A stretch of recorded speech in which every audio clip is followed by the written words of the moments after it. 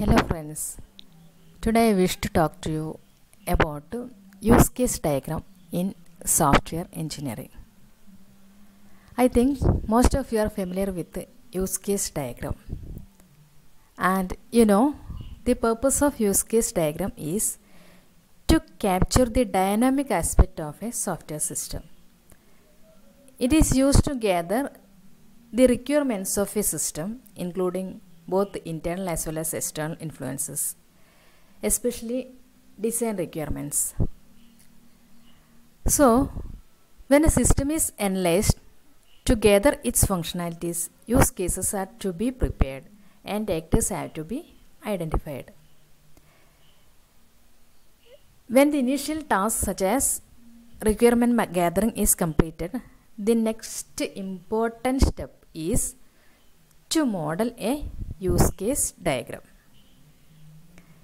It is mostly used to present a bird eye view of the system. Is used to analyze the requirements of the system and model to present the outside view, bird eye view, and identify the external as well as internal factors which are influencing the system and the interaction among different actors and used to capture the functionalities. What are the modules we are using in the system and modeling the basic idea behind the system. Here are some tips for drawing a use case diagram. A use case diagram should be as simple as possible. It should be very simple. Anybody can understand by seeing that diagram and a use case diagram should be complete. It should uh, it should be complete. And it should represent all interaction with the use case. If there are too many use cases or actors then essential part has to be represented. And it should describe at least a single module of a complete system. And if, if the use case is large then it should be generalized. Here is a simple example. Here the student teacher are two actors and the use cases are five use cases or functionalities are here. Check attendance, check timetable, check test score, update attendance, update score. The student is connected to three modules, three, three use cases. He can see he can check the attendance uh, and he can he or she can check timetable he or she can check uh, their test score. And a teacher can do all these five things. A teacher can check attendance check timetable check test score and uh, also other than that he can update the attendance or he or she can update the, the score and uh, this is the overall view of the use case diagram in unified modeling la language UML this is the system boundary. This rectangle represents the system boundary. Then actors uh, actors are the, here. Actor is represented by this simple cellular phone is an actor and external phone company is an actor and customer is also an actor. Then this is system and uh, three use cases are here handle messages handle call and manage bill then cellular for using cellular phone uh, he can uh, handle messages uh, send and receive messages both receive both messages and call. And it is connected to external phone company and a customer can manage he can pay his bill. So these three are use cases. And the notation description is depicted here. And then actor is represented by this symbol. Actor means uh, someone interacts with the use case or functionality. It is named by a noun. Actor plays a plays a role in that business. And uh, it is similar to a user but a user can have uh, more other functionalities rather than this actor. For example a professor can be an instructor or and also he can be a researcher that is he is playing two roles with the two systems two uh, different systems. And actor triggers the use cases. Actor has responsibility towards the system. He has responsibility uh, towards the inputs also towards the outputs. What are, that is he is expecting something from the system.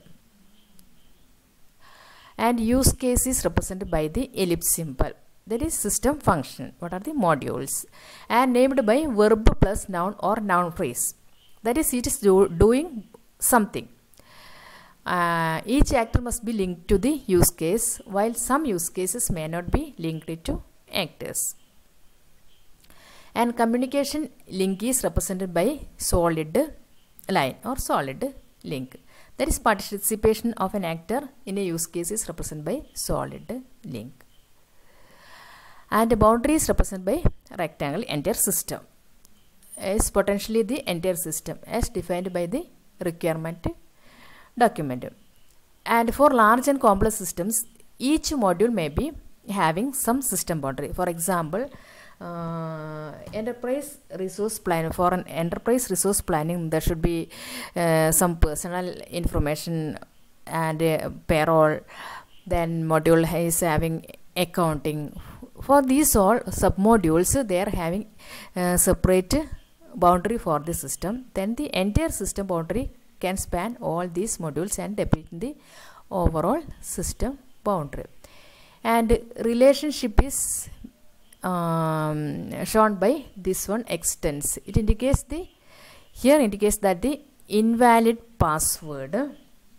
This login account is the parent case. Here this invalid password this one is the child case. That's the tip of the dotted arrow mark represents the parent case and this one represents the child case. Uh, the directed arrow having the dotted line and tip of arrowhead points to the base use case and the child use case is connected at the base of the this one. The stereotype extends identifies as an extended relationship. And this is also include relationship. Here the reverse. Uh, this one is the child and this one is the login is the parent. Use case includes the functionality describing in another use case as a part of his business process flow. A uses relationship from base use case to child use case. Indicates that an instance of the base use case will include the behavior as specified in the child use case. The stereotype include identifies the relationship as an include relationship. Here is another example passenger service system. The actors are check-in representative or check-in inspector then custom officer or custom of customs of destination airport and passenger baggage transportation here uh, five use cases check-in automated check-in express check-in boarding requesting passenger list. This private indicates that the check-in inspector can only check in this one check-in information. The passenger can do these four use cases and the custom officer can request the passenger list who are having baggage baggage transportations.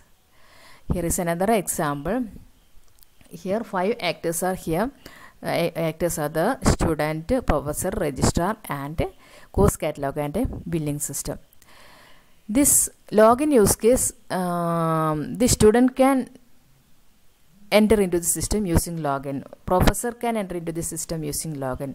Registrar can also use the system using login and password.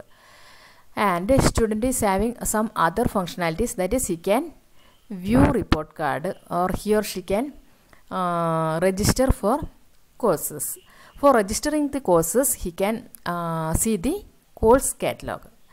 And the professor can log in then he can select courses to teach. For uh, selecting that course he can refer course catalog and professor can submit grades. Registrar can log in and registrar is the administrator and he can maintain professor information and maintain student information. He can close registration after reaching the closing date. Then after closing registration the billing system um, enters. So this is the simple examples for use case diagram. Thank you for watching